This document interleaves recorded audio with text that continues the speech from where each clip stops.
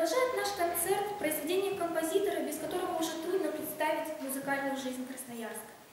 Евгений Чехачев – это не только композитор, работающий в разных жанрах вокальной и инструментальной музыки, но и общественный деятель, проекты которого, особенно в 90-е годы, имели важное значение для города. Это фестиваль «Премьер» и фестиваль «Новые территории искусств», в организации которого он принимал участие.